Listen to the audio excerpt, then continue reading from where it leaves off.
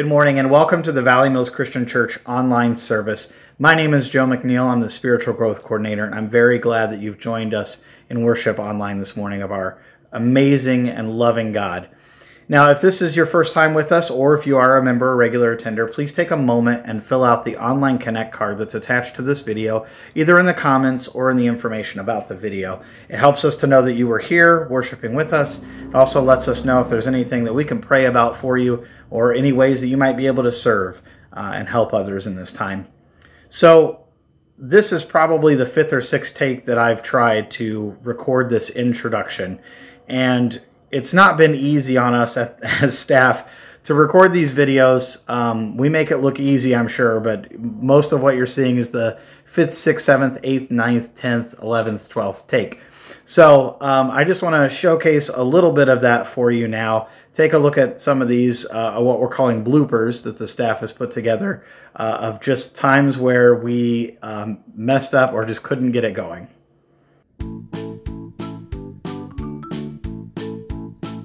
Good morning, friends and family from. Good evening, Valley Mills Christian Church. Let me close my computer so you don't see it on my glasses. Hey, uh, Robin Paul here with Valley Mills Christian Church, bringing you your Friday devotional. Um, Hey Valley Mills students, I'm so excited to join with you today for our online student ministry. Uh, with when we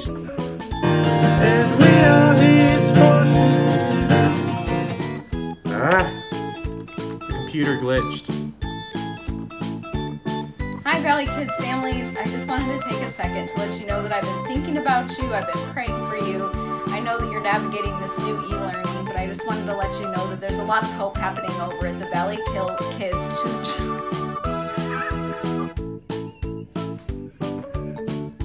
if you would like uh, to connect with us, uh, please. There's nothing concealed that will not be disclosed or hidden that will not be made known. I'm going to start that again. Ah,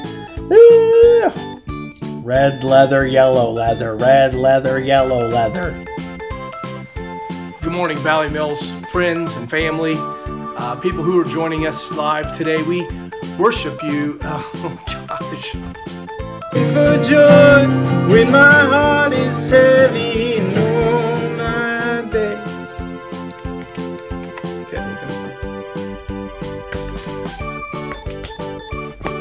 Be afraid of those who kill the body and after that can do no more.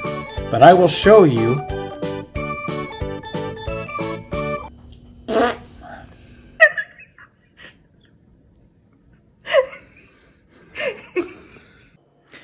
Well, I hope you had a good laugh at our expense. Uh, we wanted to show that because we wanted you to have a good laugh first and foremost, but we also wanted to let you know that here at Valley Mills, our staff, we're imperfect people. Nobody is perfect. We're not claiming to be.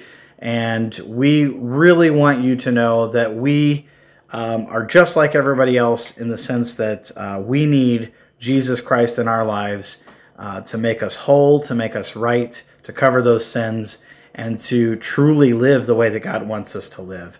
So, as you enjoy a message um, from Bob today, as we start a new series, um, just think about that and uh, take take a moment to smile and to enjoy life and enjoy the worship service. Uh, we're going to start off with the worship team that we recorded live at the church. Uh, and then at the end, there's going to be some announcements, and there's also going to be a communion time with Elder Don DeHart. So I hope you enjoyed the service. God bless. All right. Good morning, Valley Mills Christian Church. Hope you guys are having a Great Sunday morning, and uh, let's begin this uh, morning with uh, some worship. So let's sing uh, to our King this morning, and uh, let's declare uh, that his promises are yes and amen.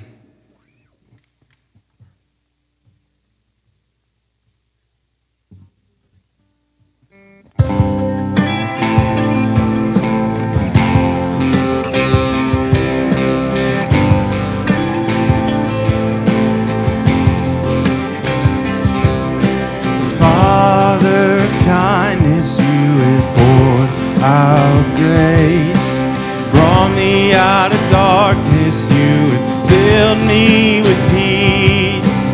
Giver of mercy, you're my help in time.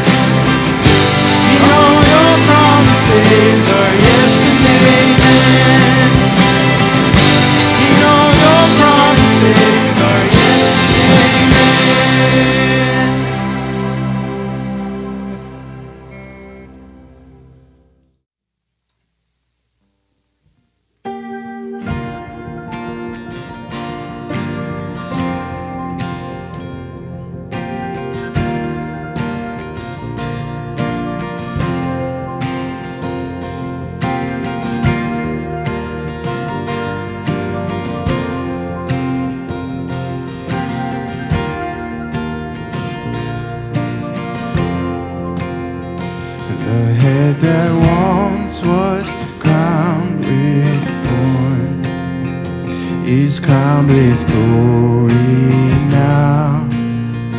The Savior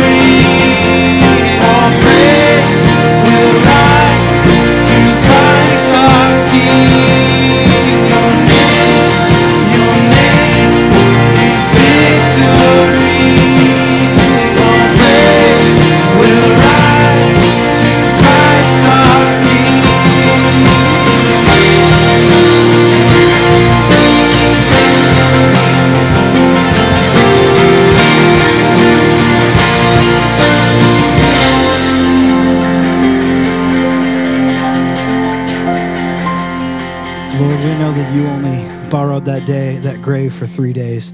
God, we know you did not remain there, but you are alive. You are alive in us. You are alive and well. And we worship you this morning.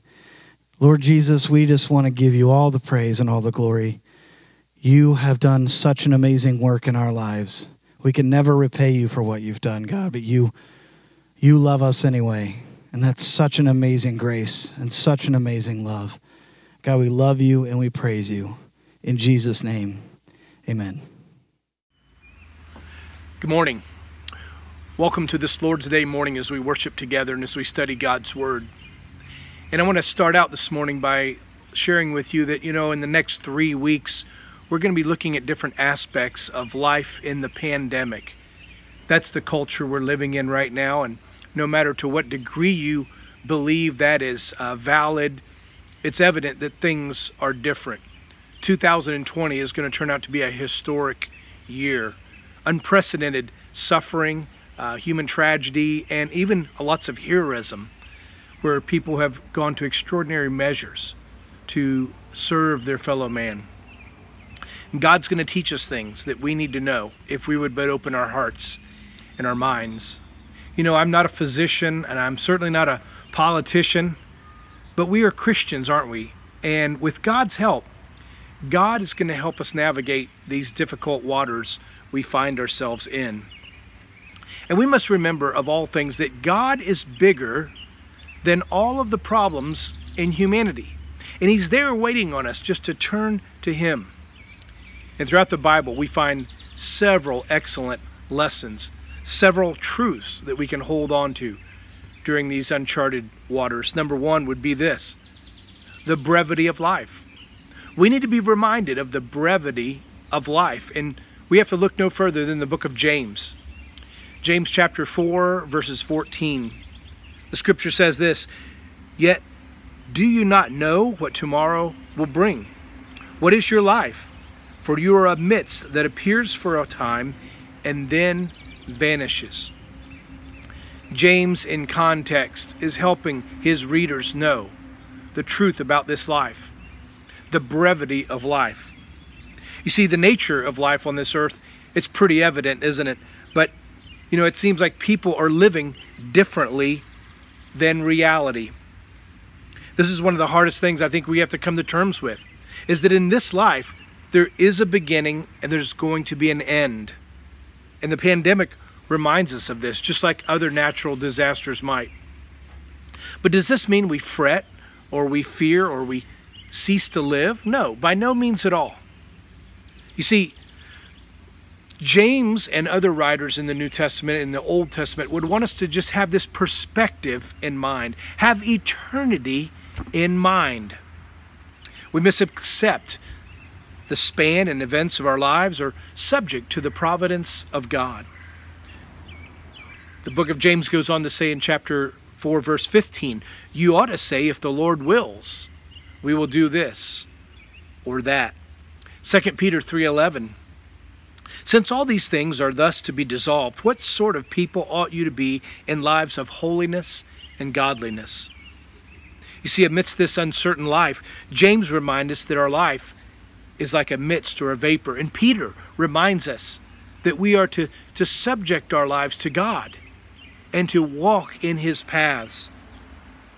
Amidst these uncertain times, we need to keep that in perspective. As we associate with people, as we make decisions, as we're tempted, or even if we're discouraged, keep this matter in mind that with a perspective of eternity Remember that life is brief. And actually, this is not a bad thing because it helps us take God more seriously and it helps us be reminded of the importance of our mission that each of us are to be living out. You know, I wish my dad and mom were still alive today. I wish my brother were still around. I, I wish my father in law were still here that I could talk to him and get insight from him and share good times with him. I wish saints that I've known through the years were still here.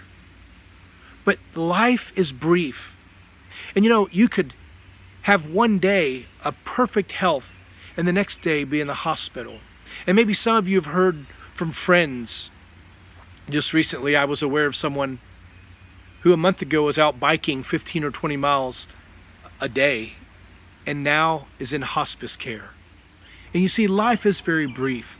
And this doesn't have to discourage us, but it should compel us to draw near to God, to, to look at every day as an opportunity to live out my mission, to, to look at the things that are futile and rubbish and begin putting those things out of our lives, separating ourselves from the things that will not matter for all of eternity and drawing near to those things and those people, those values that are going to be through all eternity. You know, amidst the brevity of life, there's this confidence of eternity. You see, Jesus brings us this peace treaty between us and our Creator. And when we found salvation in Jesus Christ, it brings peace to us. And so we can live confidently, knowing that eternity is awaiting us. The principle would be this life is brief, but don't forget about eternity. Keep that perspective in mind. So, first of all, the brevity of life. Second of all, the sovereignty of God. You see, Proverbs 19:21 tells us that many are the plans in the mind of a man, but it is the purpose of the Lord that will stand. You know, the pandemic is another reminder that we can't outsmart or outperform our Creator. God is not caught off guard by this. He is here in the midst of our troubled times. You know, that should humble us. And that is not a bad thing. Coming closer to God, humbling ourselves before God, acknowledging we are not in control of every situation and every event and every course of life, but God is able to see the big picture.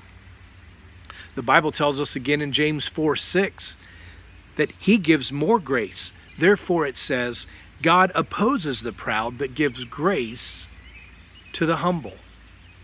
I would hope that this season you might find yourself in is humbling. And don't run from that. Don't be afraid to let these difficult times bring you to your knees. You see, if you've achieved great things but forgot to acknowledge God, you are foolish and unwise. Your boasting is in vain. Your success is in vain. Your big plans are in vain. If, on the other hand, you're walking hand in hand with the Creator, you'll be able to navigate these uncertain waters. And you know, we're thankful for past achievements that God's allowed us to accomplish. And we're hopeful for future plans. But we must never forget to acknowledge God in it all.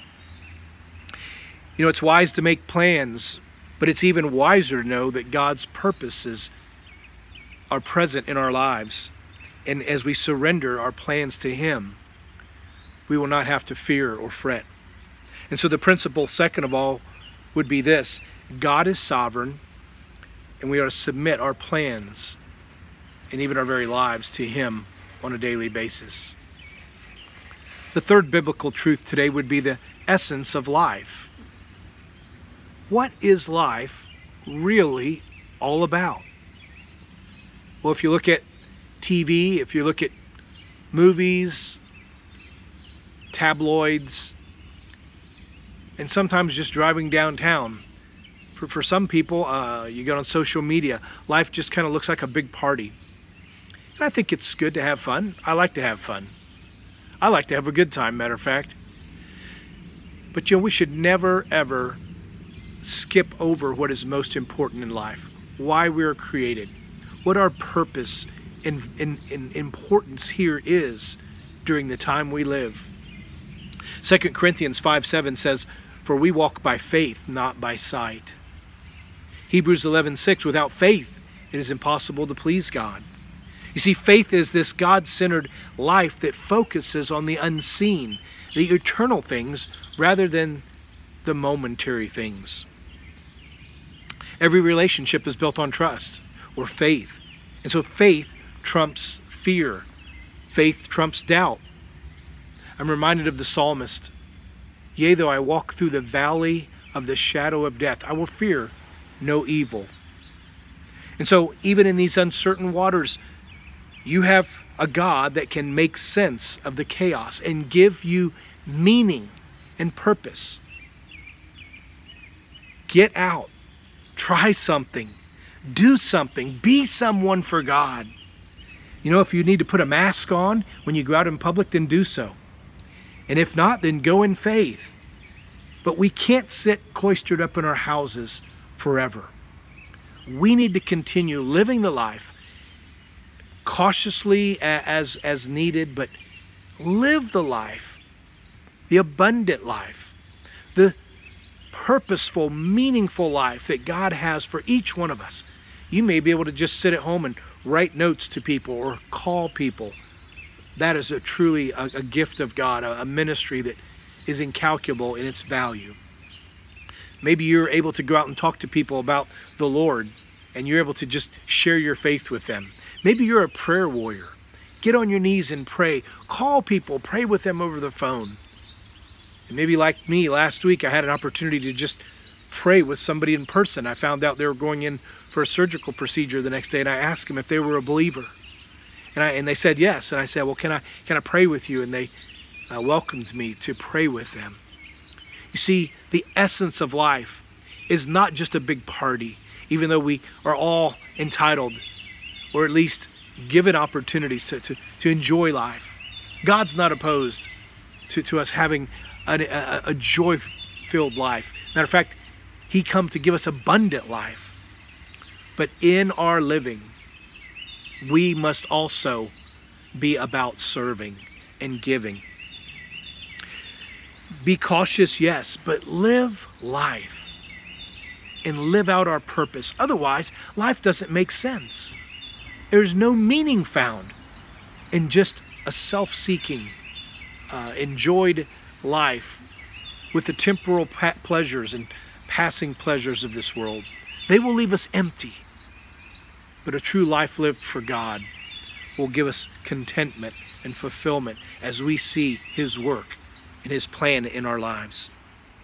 And so the principle would be this a life lived by faith will conquer fear every time. So we, we don't find ourselves in a terrible place because our lives are aligned with God and His purposes.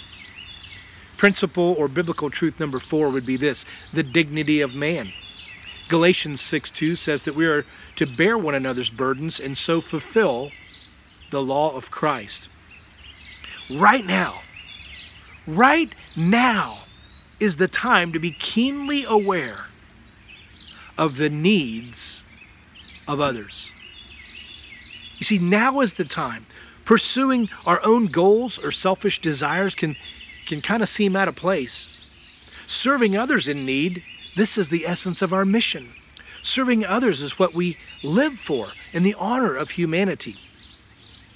I'm reminded of a story of a New York physician this physician, over the last several months, was serving in New York and known for his dedication to patient care. And he continued working on the front lines of the pandemic in the intensive care unit and died himself from COVID 19. And as a coronavirus pandemic took hold in New York, Dr. James Mahoney, 62 years of age, worked nonstop at University Hospital of Brooklyn, an underfunded institution that serves predominantly poor and the black. Many physicians his age had stopped working, but uh, out of concern for their age or health issues. But Mahoney, who was on the front lines during the September 11th terrorist attacks and even the AIDS epidemic, refused, according to his boss, Dr. Foronjy. There were people who really were reluctant to go into rooms, and you could understand understand why. Foronjy said, he saw another human being in need, and he didn't hesitate to help. Could that be said of you and I? That when the tide is turning against us, when the waters are rising, and we want to retreat, we want to run. Maybe the waters are rising out of the tears that you have shed and you feel like hiding. But what if instead we were to run to the battle lines? We were to run to the needy. We were to seek and save the lost with obviously the good news and the gospel of Jesus Christ. We were to comfort the afflicted. We were to give to those who have need. You see, there's only one purpose greater than that, and it's to love God with all of our hearts. So, the dignity of man calls us to serve our fellow man.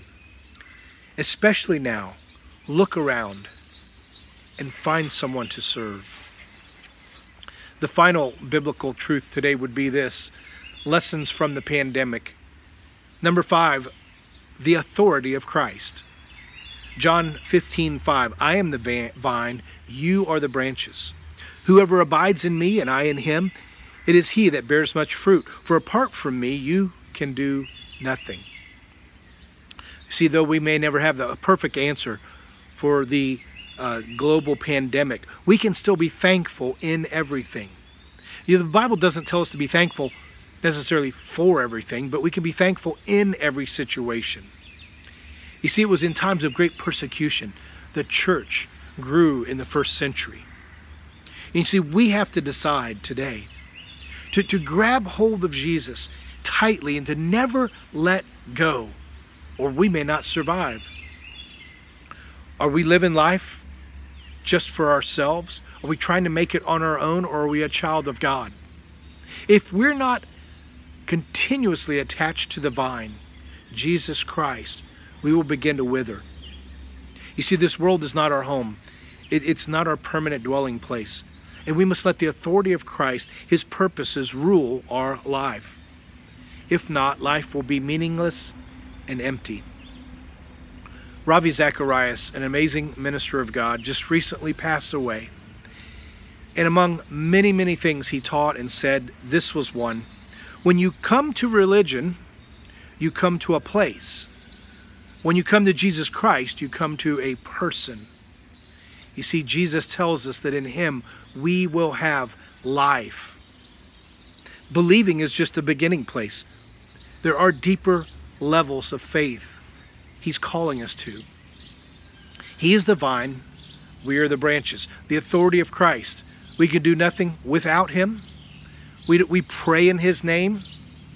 And that's why it's important that we end our prayers in the name of Jesus because it's, it's in His authority and His power his, his supremacy in the world. That God in flesh came to become sin for us, to deliver us out of the kingdom of darkness into the kingdom of light. Now, right now, I'm wondering if you can think of one word that describes your relationship with God. What would be one word? Maybe if I used a word like tired, down or discouraged, what would you think of that? If I used a word like overcoming, victorious, how would you feel about that? Do you have the ability to be truthful and real in identifying that area of where you're at with God right now? If you're truly down, if you're struggling, then praise God. Look up God is just a prayer away. And God takes those who are in lowly positions and exalts them. But He also takes those in high positions and He humbles them.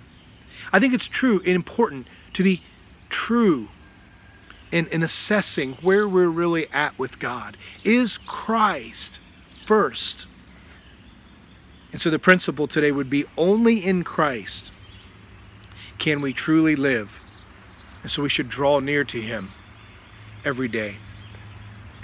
The brevity of life, the sovereignty of God, the essence of life, the dignity of man, and the authority of Christ. As we keep these truths close to our heart, God will help us to be overcomers. God bless you, and I'll see you next week. All right, I hope you all were blessed by that message uh, given to us by our senior minister, uh, Bob Belts. And um, it's going, leading into this uh, song of response. Um, typically, it's a song of invitation. Uh, but my hope for you today is that you come into a, a, uh, an encounter, an authentic encounter with God, um, to know that He is real, to know that He's working in your life. And so I know that in a lot of areas in our lives that may feel like God is not present with us or in the moment where we're suffering or hurting. But I can tell you one thing for sure God is there in that moment, in the good times and in the bad. We can declare that He is our waymaker, and He always makes a way through His Son Jesus Christ. Uh, he saved us uh, through that, uh, through the death and resurrection of Jesus, and that is the hope that we have. So let's sing this uh, song as a response to all that He has done. Um, this next song we're going to sing is Waymaker.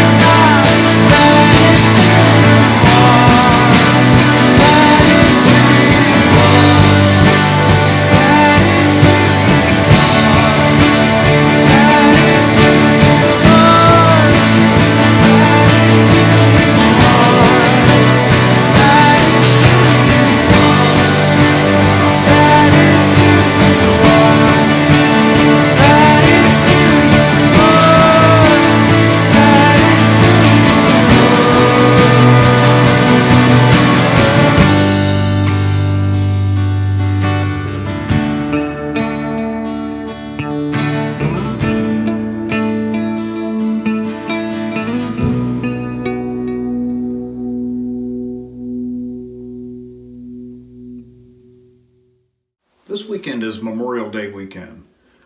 It's the time where we remember those who have given their lives in service to this country in the military. John 15 13 says, Greater love has no one than this, to lay down one's life for one's friends. Jesus did that for us when he went to the cross. He made himself the ultimate sacrifice for our sin. He died on the cross. He rose from the grave to defeat death and offer us eternal life. It's during this time of communion that we remember Jesus and the sacrifice that he made for us. Heavenly Father, God, we just thank you for who you are.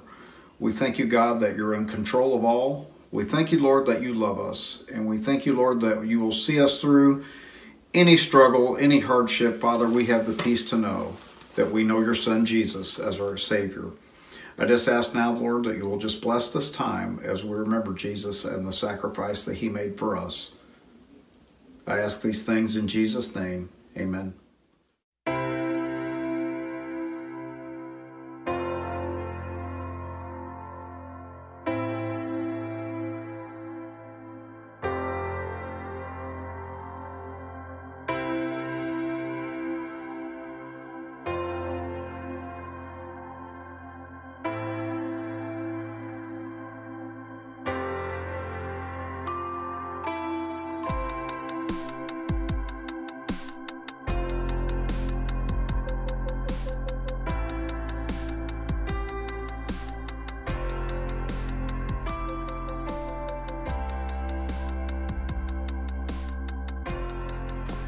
While they were eating, Jesus took bread, and when he had given thanks, he broke it and gave it to his disciples, saying, Take and eat, this is my body. Then he took a cup, and when he had given thanks, he gave it to them, saying, Drink from it, all of you. This is my blood of the covenant, which is poured out for the many for the forgiveness of sins. I tell you, I will not drink from this fruit of the vine from now on until that day when I drink it new with you in my Father's kingdom. We bow for a word of prayer for the offering, please. Heavenly Father, God, we just thank you for this time now where we can bring our tithes and our offerings and offer those to you. We just uh, pray, Lord, that um, it will be used to maintain and operate your great church, Valley Mills, and the various ministries that um, operate in the church and outside into the community and beyond. We just ask that you'll bless the gift as well as the giver. We ask these things in Jesus' name. Amen. Thank you once again for joining us at Valley Mills Christian Church for our online service. I hope you got a lot out of it. I know I did. I've just got a few quick announcements before we close. As I mentioned at the beginning of the service, please take a moment to fill out our online Connect card. Uh, you can do this by heading over to our church website at valleymillscc.org. Uh, you can also find it just below the sermon video. If you're watching on the Facebook page, there's a link in the post or in the comments section below. It just takes a few minutes and it helps us include you and stay connected with you in many ways. On Monday, June 8th, the Decatur Central High School seniors will be recognized and honored with a senior parade. They will be staging for the parade at our church parking lot that evening at 7:45 p.m and will leave at 8 p.m. to head to the high school football field. Let's help show our support for DCHS seniors by creating signs and posters congratulating and encouraging them. We could decorate the church windows and the covered porch area that evening. Please drop your posters off at the church on Fridays between 9 a.m. and noon, or you can contact the church to set up a time to drop those off. Now, we strive to be the church and continue to shepherd the flock during this time, and you can help by joining the VMCC shepherding team. You can provide a weekly care touch for those that are in the church family with us. Uh, you'll receive a list of families each week that you can contact uh, by phone or email, text, or social media, or even a handwritten note if you want to do that. If you're interested in being part of the growing shepherding team, you can visit us at the church website and fill out the form that's called Be the Church. It's found on the church homepage. You can also let us know by marking that on your online Connect card. You can help us support the Lions Club with the We Are In This Together sign campaign. The Decatur Central Lions Club is a local community service organization that provides many programs throughout Decatur Township. And because of the limitations uh, that they are under, they're not going to be able to do their 4 H fair this year, which usually funds a lot of the projects they do. So they've opted to um, sell these yard signs that are a do- donation of at least $20. Uh, they'll include the line, Pray for Our Country and the World, as a tribute line, uh, and they'll deliver it to your address. You can put it up in your yard there just to help show support. These yard signs will show your friends and neighbors uh, that even though we don't get to see each other as much right now, we are in this together and we support each other as a community. Um, you can check that out over at valleymillscc.org under the events tab or contact the church with any questions. And please let us know if there's any way that we can pray for you. Uh, if you have a prayer request, please submit it using the form at the church website or you can share it on your online Connect card today. The church uses various ways uh, to connect with you during this time uh, through social media. We have our website, Facebook, YouTube, Instagram, all of that stuff. There's different ways that you can stay connected with it. And there's also three specialty Facebook groups one for women's ministry, one for student ministry, and one for Valley Mills Christian Church uh, children's ministry. This is a private group for that last one. But these are different groups depending on the areas that you might be interested in or involved in. You can check those out uh, and be connected in those ways. Now, every Wednesday at 11 a.m., we encourage you to set aside a moment to pause and pray for our community and the world. Tune in to the Valley Mills Christian Church Facebook page, and we also post the video on our YouTube channel, 11 a.m. each Wednesday morning. Senior Minister Bob Belts leads us in this prayer initiative with a short message and prayer. In addition to our Sunday worship service and the Wednesday pause and pray videos, we're also sh- sharing va- daily videos of encouragement from our staff and elders each day of the week. You can check those out also on Facebook and our YouTube page. And we thank you for continuing to consider your part in giving your tithes and offerings during this time so that the ministry of Valley Mills can continue to be healthy and serve our community in many ways. You can go to the church website under the Give tab. Uh, you can give now under your Breeze account. You can also text to give simply by texting the word give to the number on the graphic here. You can also mail your gifts uh, to the church at 5555 Kentucky Avenue. And we do pick up the mail daily. You can also use whatever online bill pay service your bank uses. And last but not least, if you're a member or regular attender of Valley Mills, we hope you've taken the time to create your Church Breeze account. We've noticed a lot of people have been filling that out over these last few weeks, and we appreciate that. This is an online church management system. It's kind of like a church directory, but it also helps uh, us to connect with you in various ways. You can log in and create an account at valleymillscc.org under the Member Access tab. Uh, this is a way for you to view others at the church as a directory. You can set different privacy settings in there. Can also manage online giving and see what events and things that, that the church has going on. You can find out more in the weekly e newsletter. If you need help setting up an account, just give us a call here at the church. And that wraps it up. I hope that you have a great week and a great rest of your Sunday, this Memorial Day weekend. Spend some time with your family and spend some time with God. Have a good day.